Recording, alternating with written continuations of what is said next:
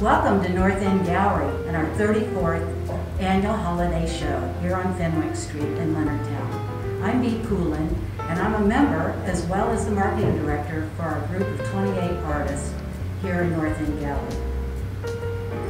This weekend, December 5th and 6th, we're hosting our first jewelry trunk show featuring three artists, jewelers who are members here.